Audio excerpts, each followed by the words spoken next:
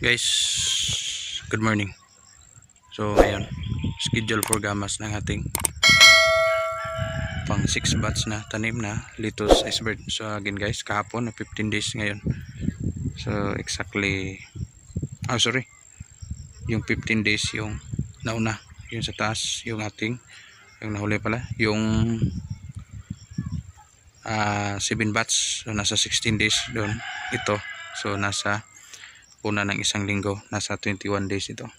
So 21 days old na. Litos iceberg so again continue sa ating cultivate cultivating time or gamas.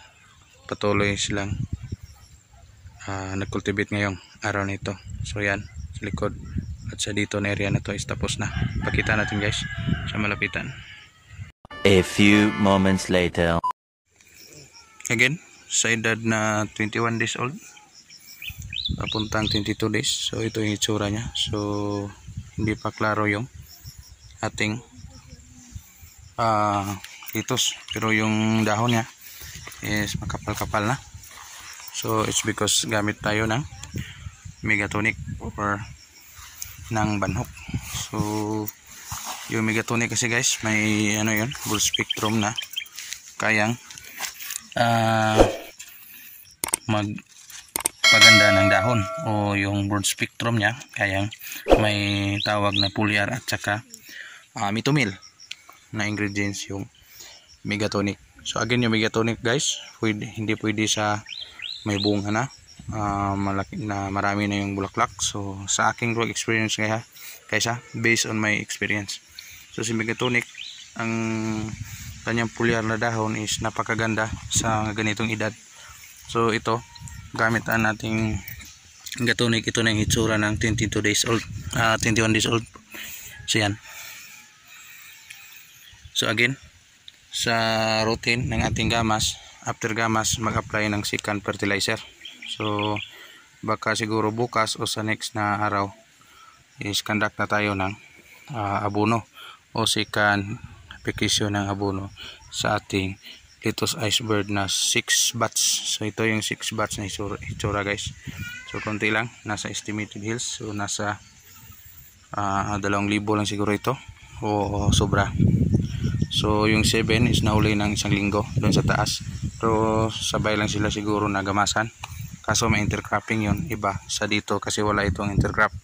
So ito guys wala itong naka intercrop ayan So yan ang itsura ng ating litos iceberg na continue yung cultivating time. Again, sa cultivate, salamat tayo. Kunti lang yung pandan. Again guys, si pandan. Ito si pandan. Yan. Yung katabi ng puno ng litos ito. So, ito yung pinaka ano dito, salot sa amin sa damo. Again guys, hindi si Insecto TV hindi gumagamit ng herbicide. Ini herbicide hindi ako gumagamit uh, gamas lang at culti or cultivation yun ang gamit ko. Again technique sa cultivate para hindi ma uh, ano yung plat. Dito lang tayo sa gilid dumaan. So yan. Ito yung daanan. Ito. So di, dyan. Pansin nyo sila isa isa bawat dyan. Isa dalawa tatlo. So dito sila dumadaan sa pinakawi tapos yung dito abutin lang yung isang puno kasi tatlo ito. Linya 1 2, 3 so yung isa abot doon. So yung gitna is abutin lang nila para magbunot ng ganito. Yung pandan kasi guys especially ganito may laman. May ano na sa yung ugat niya. So gumagapang. Ayun. Sumanga na naman sa kabila. So ito. So God's blessings malakas yung ulan. Uh, malambot lang uh, bunutin kasi yung ada mo hindi masyadong ma uh, rami. So yan simpleng gamas at dapat kada puno is malapitan ng uh, cultivate o ma uh, bungkal talaga. Iba kasi ang mabungkal kasi hindi ma bungkal talaga yung lupa. So dito para yung ugat is mag relax relax naman ng kunti para din tao yung tanim guys pag hindi mabungkal yung uh, puno ganito yung style pag gamas o style sa ganito dapat kukunin ito kasi ilang araw, ilang linggo. So tutubo na naman pag hindi ma-proper kuha yung damo na pino. So dapat guys linis na linis, linis na linis para until harvest hindi na tayo mag follow up ng gamas so maliit na yung expenses sa pag ah, gamas. So ito guys isip ibilangin natin kung magkano ilan ng ah, dahon sa isang puno sa edad na 21 days old. So ito bilangin natin. So ito pinaka minimum yung ito yung itsura. So 1 2 3 4 5 6 so almost 7 sa may kanyang gitna o kanyang flowering stage. So parang marami-rami na.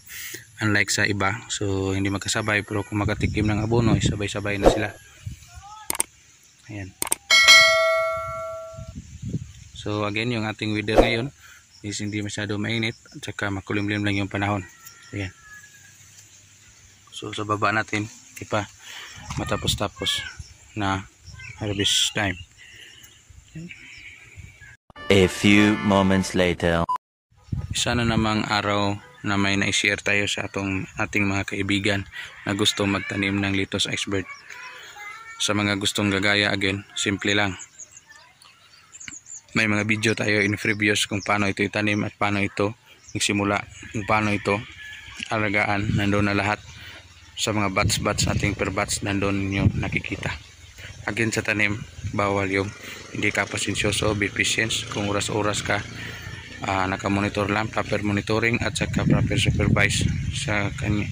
Yung tao dapat napaka-organize yung magbigay ka ng ah, plan kung paano yun ang gagawin nyo sa araw na yun para ma yung tawag na application time hindi ka malate at tamang pag yan lang ang isang mapapayo ko sa aking kaibigan dyan tagapanood sipag lang at tutulungan tayo sa taas. Insakto TV.